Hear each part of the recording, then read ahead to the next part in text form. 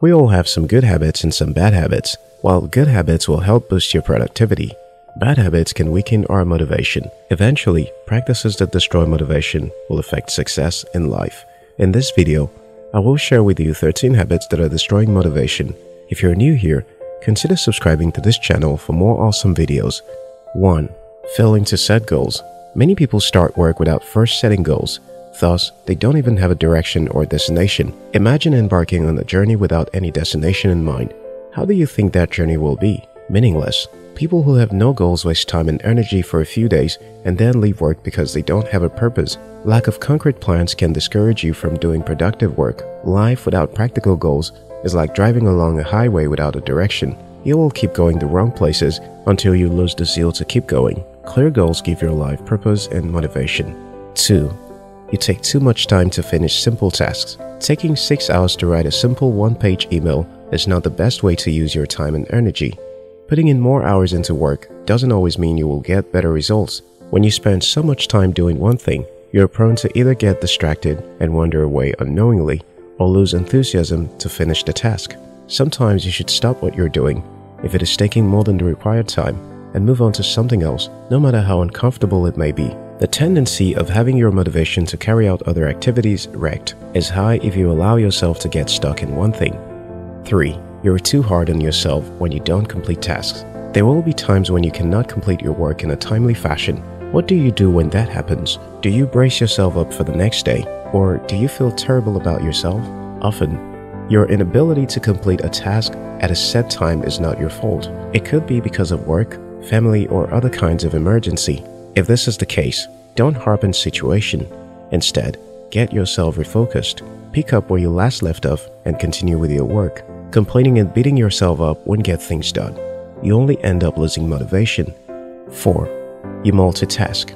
Editing a report, surfing the internet, talking on the phone with your client and texting your boss, all at the same time, is task overload. Many people regard multitasking as a great skill. Well, it is though. But then, research shows that only 2% of the world's population can correctly multitask. What does this mean? That a whole lot of individuals who think they're multitasking is only stressing their brains and messing up their jobs. Little wonder why after a period of futility, many people go back to their drawing board and start with one thing at a time. On the other hand, some other individuals end up sending wrong messages, making mistakes in reports, and eventually disoriented. Stop trying to do so many things at once. You'll get your work done faster if you do things one at a time, carefully. 5. Morning Rush How often do you have those mornings when you're rushing to the office, barely having time to do breakfast? How does your day turn out when you have mornings such as that?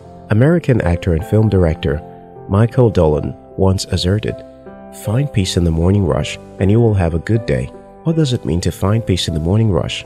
Well, don't get involved in the dash at all. Getting involved in morning rush can bring a negative impact on your motivation, which may also influence your overall productivity throughout the day. So, by waking up a little early, you get enough time to start your day with a quick meditation session, a well-placed preparation, and a proper breakfast. All those things are a recipe for a motivating day. 6. Doing the easy things first. American writer and humorist Mark Twain is famous for the quote, Eat a live frog first thing in the morning, and nothing worse will happen to you the rest of the day. Due to the fear of handling the challenging task, many individuals push the most strenuous activities further down their to-do list before taking the tough stuff. It is only natural that you would prefer to finish up the easy task first, but the opposite is right for your motivation and productivity. Confronting the difficult task first is better. This is because, according to research, your brain is much better at handling the most challenging task when it is more focused at the start of the day. Also, completing the problematic task will often motivate you to finish the others, but the opposite is rarely the case.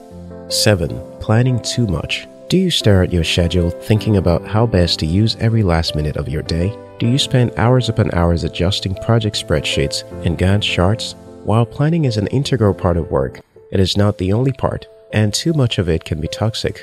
When you're always focused on planning alone, you might lose sight of the fact that you need to carry out those plans. Even as you plan, you also have to take action and do those things you've so carefully planned. Lay the list aside and get to work. 8.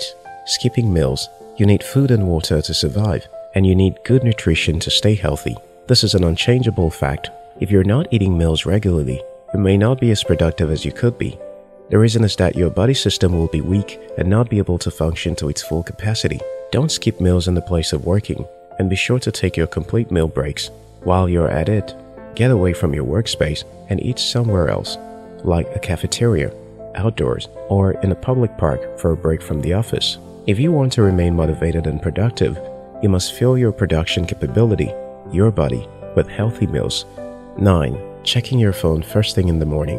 One of the worst habits that many of us in today's era share is checking our smartphone last thing in the night and first thing in the morning. Apart from the fact that our minds are instantly polluted with the negativity of the outside world, another problem is that when we do so, we're instantly put in a reactive mode. Our thoughts, ideas, and focus are immediately hijacked by the new messages, emails, and notifications that we've received, which forces us to think about that stuff instead of on our goals and causes a lack of motivation to carry out our set goals. 10. Being busy rather than productive.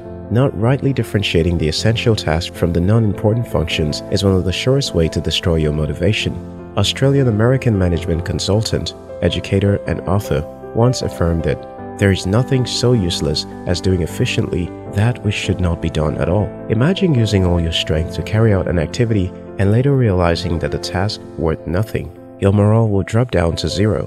Remember, not all jobs are created equal and being busy is not the same as being productive. Some tasks are much more valuable than the other tasks. When you carry out the valuable ones, you will be highly spirited, but when you do the less useful ones, your motivation will drop. 11. Not believing in yourself. Do you know your beliefs directly affect your motivation? Most people possess the enthusiasm to take action at the beginning stage of work. However, after a while, self doubt becomes an obstacle. When you stop believing in your abilities, you lose motivation get discouraged, and even quit. If you don't control negative self-demeaning thoughts and overcome self-doubt, you'll lose motivation. Time is precious and priceless.